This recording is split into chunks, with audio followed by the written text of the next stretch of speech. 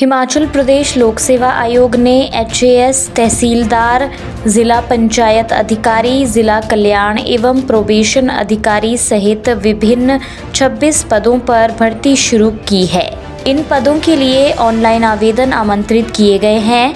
इसे लेकर नोटिफिकेशन भी जारी कर दी गई है। ऑनलाइन आवेदन करने की अंतिम तिथि 2 मई 2024 निर्धारित की गई है।